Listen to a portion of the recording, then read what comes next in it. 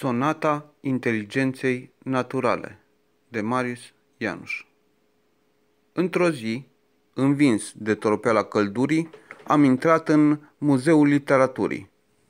Era acolo o expoziție extraordinară, să cunoaștem inteligența artificială. Mi-a ieșit în cale o domnișoară cu o față smeadă și ovală, care mi-a spus, Vă conduc eu până sus. Dar ce aveți, domnișoară? Parcă vă mișcați cam într-o doară și aveți o figură foarte pală. Sunteți cumva bolnăvioară? Dacă e așa, nu vă deranjați să mă ajutați să urc, că în această clădire eu mă descurc. Dacă n-ar fi această cloacă literară mincinoasă, aș putea zice că sunt la mine acasă. Nu am nimic, așa m-a conceput secția grafică, cu această culoare care amintește clorura citostatică. Poate nu ați citit afișul de la intrarea în sală. Sunt un umanoid dotat cu inteligență artificială. Aoleu, da, de asta e fața asta de plastic. Îmi pare rău, dar o să te tratez sarcastic. Eu am scris un articol despre a voastră dinastie.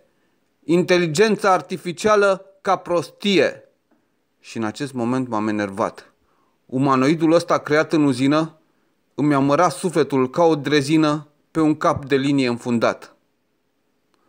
Dacă tot ce ori băgat globaliști în tine crezi că e adevărul curat, înseamnă că n-ai nimic în cap și să nu te mai ții după mine.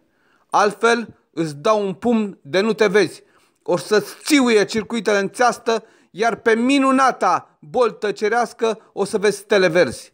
Tu ești doar un instrument atroce prin care sioniștii mai rău ne vor stăpâni. Iar când va veni anticristul, poți să știi, tu vei fi chipul lui feroce. Așa că lasă-mă în pace, du-te în mărăcini și învață acolo cum să suspini, ca să pari cât de cât o făptură umană. Cară-te de aici, cu coană! Și atunci început să sune alarma. Se închiseră ușile, se porni larma, un paznic îmi propti o bâtă în gât de parcă aș fi un terorist dovedit.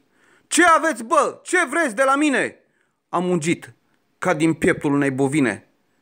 Ne uităm pe camerele de filmat și îți spunem ce s-a întâmplat. Vă spun eu, zise robotul cu coană. S-a enervat și a zis că mă doboară. Dar ăsta Ianuș, autorul de rime spontane, iar eu valorez 50 de milioane nu ar putea să mă plătească nici într-o viață omenească de 5.000 de ani. Nu are atâția bani. Cum ai recunoscut? Am strigat iar cât am putut. E simplu, recunoaștere facială. Și să știi că nervii tăi sunt o boală. Nu sunt o boală, nu e adevărat. În cel mai rău caz sunt un drac. Tu crezi ce spui, dar ce scofoală, dacă eu te asigur că sunt o boală? Eu am un algoritm într-un soft care îmi indică exact dacă e moft sau e boală, iar în cazul tău e 98% cum spun eu. Dacă îți dau una peste bot, în componentele tale de robot, ți se scurge softul ăla în ciorapi și nu o să mai știi pe unde să scapi. Și din nou țiui alarma strident și ascuțit. L-ați auzit, da? L-ați auzit? Dar paznicul abandonase arma și explică inteligenței artificiale. Astea sunt amenințări goale.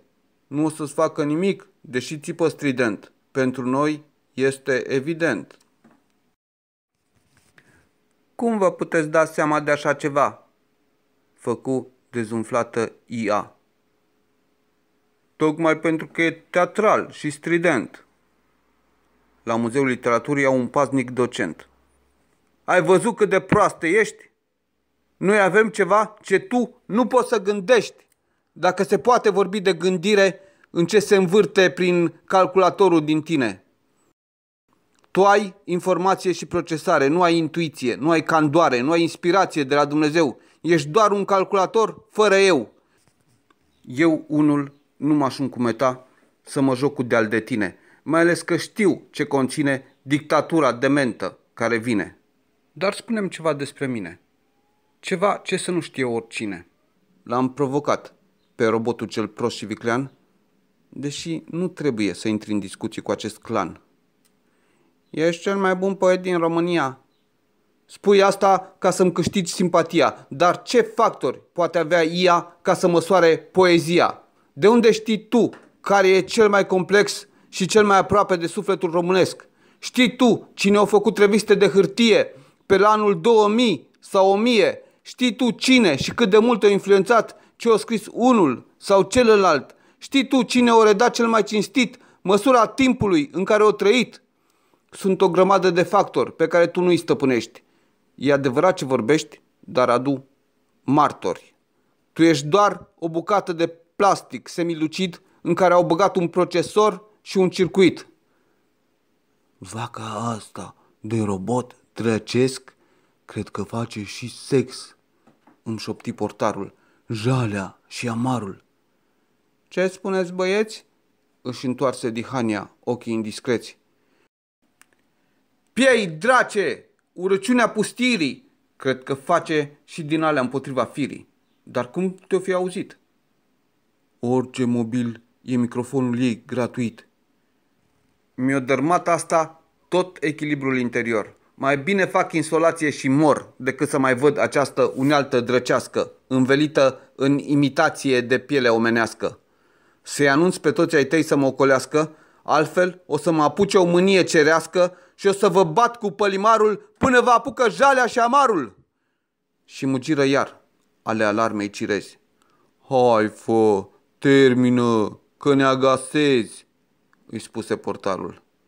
Până la urmă, e la fel de enervantă ca o femeie adevărată. Cât despre 50 de milioane, eu nu dau pe ea niciun leu.